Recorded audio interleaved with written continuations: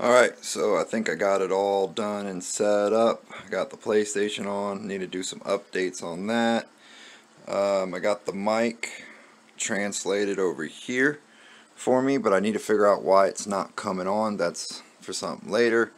And then this is cool. Got the fridge on.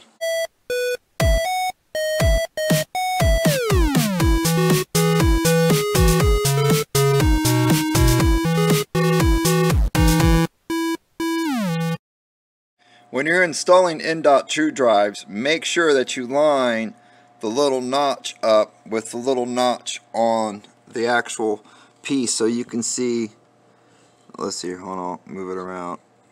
Er, right there there's my little notch right there. So this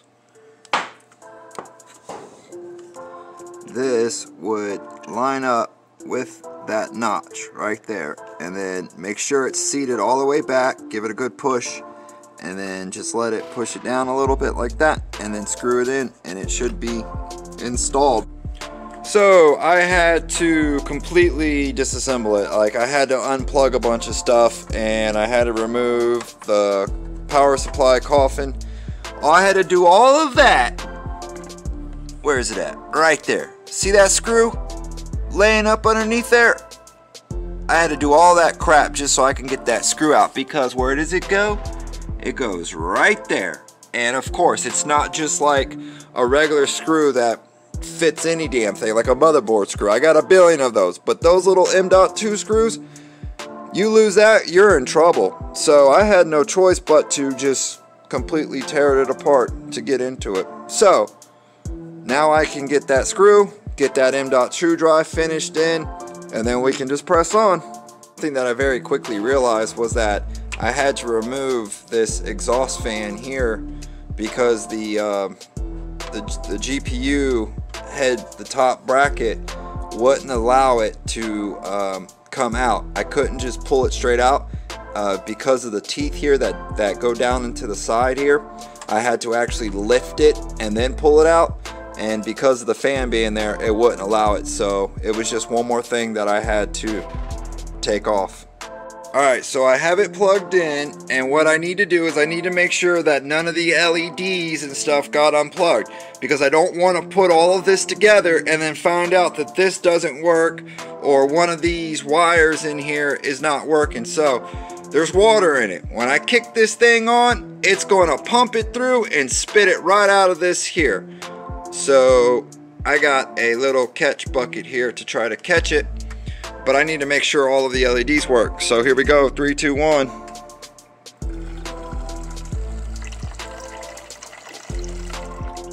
Yep, everything works. Good deal. All the LEDs work. Yeah. Alright. Okay, good deal. So this is pretty much already done. It's just waiting for me.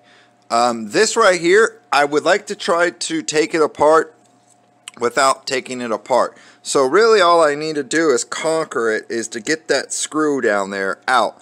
But that can always be proven to be more difficult.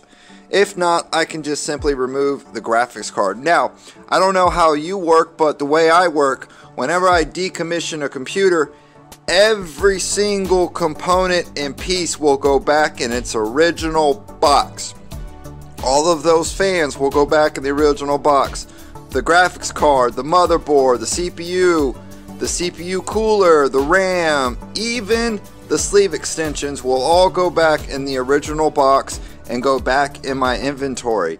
So that way when it comes time to build another computer, I'll have some of these cool parts to select from to build another computer.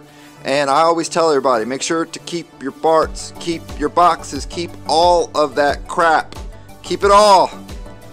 Ah, boy, let's see here. I would like to make a video using that and that and maybe that and some of this other crap, but that's just going to stay up there for now. So anyway, back to what I was doing. Let's go ahead and remove that.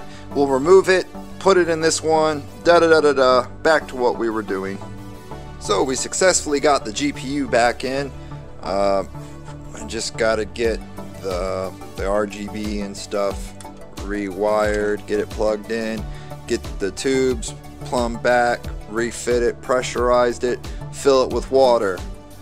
And then we'll be all done and I'm gonna bring it in the room, set it up where it's finally going to sit, put all the lights with it that are going to go with it, and that's what you guys will see next. I'm not going to waste y'all's time with me filling the loop. We've already covered that in previous videos. So it's just going to jump to, well, me being in the room and showing you where it's going to sit. So what I'm going to have to do is I'm going to have to disassemble this and put everything back in its original box, which will be fun. Um, so let's go box shopping and let's go get all the original boxes for it and we'll start putting it well, start tearing it apart. Although I'm going to do that on a time lapse. That'll be a different thing. So, yeah.